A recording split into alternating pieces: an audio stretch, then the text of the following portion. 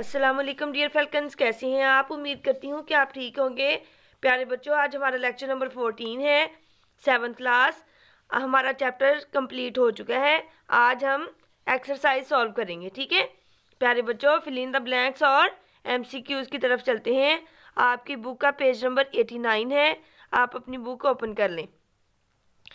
जी first first question है। Complete each of the following sentence by writing the correct term कहते हैं, सही लफ्ज़ लगाएँ इसके बारे में, जो स्टेटमेंट दी गई है। The transfer of heat by movement of molecule from place to place कहता है, एक जगह से दूसरी जगह मॉलिक्यूल के हरकत करने से, जो हीट ट्रांसफ़र होता है तो उस मेथड को क्या कहते हैं? कन्वेक्शन क्या कहते हैं? कन्वेक्शन आपको पता है ना? उसमें एक्चुअली मूव करते हैं मॉलिक्यूल्स नंबर टू है it can maintain the temperature of drinks कहते हैं, ये ड्रिंक्स के टेम्परेचर को बरकरार रखती है। अगर ठंडा हो तो ठंडा और अगर गर्म हो तो गर्म। तो कौन सी चीज़ है? वैक्यूम फ्लास्क क्या? Vacuum flask number three the transfer of heat by direct contact of molecules direct contact क्या होता है? कंडक्शन में होता है ना ऐसा।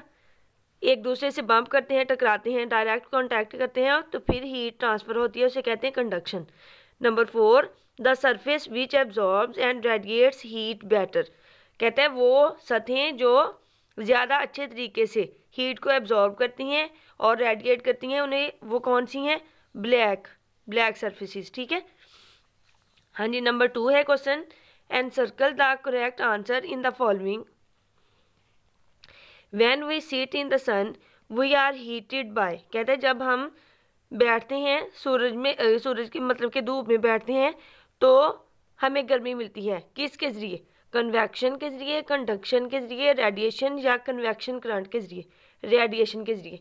आपके, आपको पता है ना कि रेडिएशन एक ऐसा ट्रांसफ़र ऑफ़ हीट का मेथड है जिसमें हमें मीडियम की ज़रूरत नहीं होती।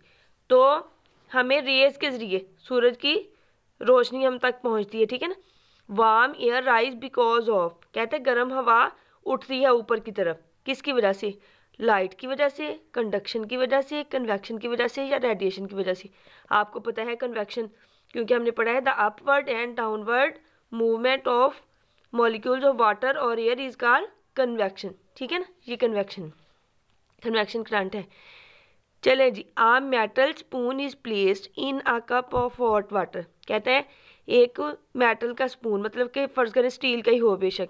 वो गर्म पानी में रख दिया गया the spoon gets warm by. कहते हैं ये गर्म हो जाएगा। क्या किसके ज़रिए? कंडक्शन के ज़रिए। किसके ज़रिए गर्म होगा?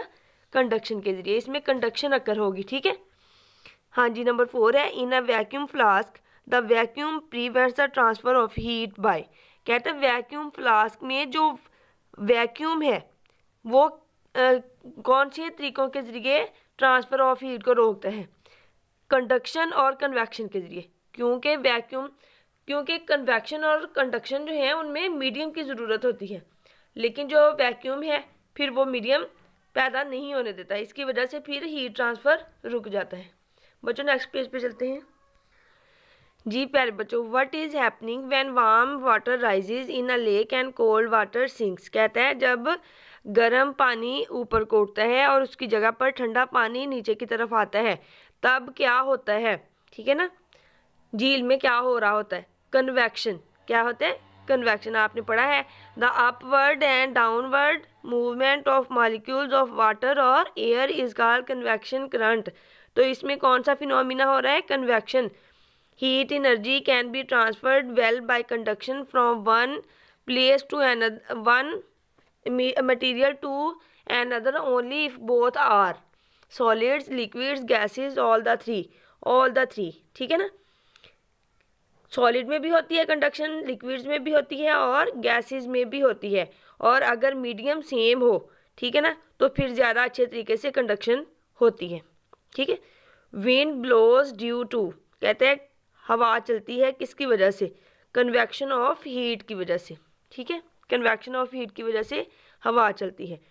Which colour is a good reflector of heat? कौन सा कलर जो है, वो गुड रिफ्लेक्टर ऑफ़ हीट है, वाइट कलर, ठीक है? आपको पता है ना कि ब्लैक जो है वो बैड रिफ्लेक्टर है। वो रिफ्लेक्ट नहीं करता कलर को, वो सिर्फ़ एब्जॉर्ब करता है। जबकि जो वाइट है वो क्या करता है? वो रिफ्लेक्ट करता है कलर्स को। जी बच्चों, इसके साथ ये जो शॉर्ट क्वेश्चन है, कहते हैं what happens if two objects at different temperatures are touching कहते हैं, क्या होता है जब हम दो मुख्तलिफ़ टेम्परेचर के चीज़ों को छू रहे होते हैं, ठीक है ना? क्या होता है? Heat energy transfer from the warmer object गर्म जिसम से हीट जो है, वो ठंडे जिसम की तरफ़ ट्रांसफ़र होती है। समझ आई?